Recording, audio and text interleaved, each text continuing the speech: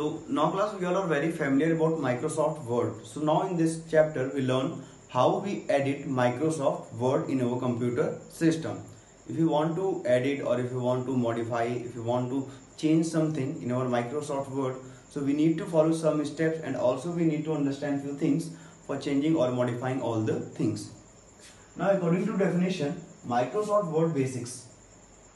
It is a word processor that is used to create documents. It means with the help of MS Word or with the help of Microsoft Word, we are able to create